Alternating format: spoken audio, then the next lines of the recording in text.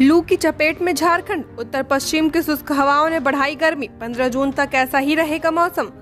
झारखंड में लगातार गर्मी बढ़ रही है। राज्य का लगभग आधा हिस्सा गर्म हवाओं की चपेट में है। अधिकतम तापमान हर दिन बढ़ता ही जा रहा है। मौसम विज्ञान केंद्र की रिपोर्ट के अनुसार पिछले 24 घंटे में राज्य का मौसम शुष्क रहा है। सबसे अधिक उच्चतम तापमान सरायकेला का रहा। यहाँ 43 डिग्री सेल्सियस टेम्परेचर दर्ज किया गया है। वहीं सबसे कम तापमान गोड्डा ज़िले का रहा।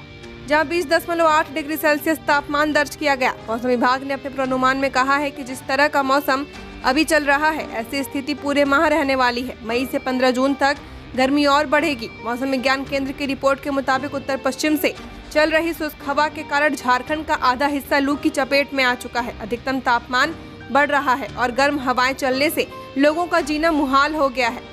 रिपोर्ट के मुताबिक 19 अप्रैल, यानी आज, रांची और खुंटी का अधिकतम तापमान 38 डिग्री सेल्सियस 20 अप्रैल को उनतालीस डिग्री सेल्सियस और 21 अप्रैल को 40 डिग्री सेल्सियस तक जा सकता है।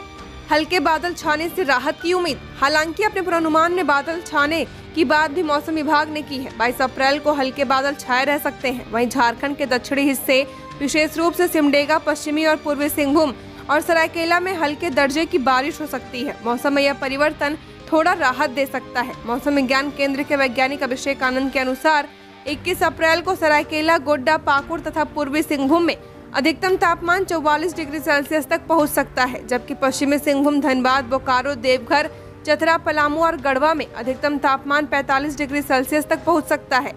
11 बजे से दोपहर तीन बजे तक बचने की सलाह भीषण गर्मी को देखते हुए मौसम विभाग ने लोगों को एहतियात बरतने को कहा है। केंद्र की ओर से सलाह भी जारी की गई है, जिसमें कहा गया है कि बहुत ज़रूरी न हो तो दिन के 11 से दोपहर तीन बजे तक घर से बाहर निकलने से बचे।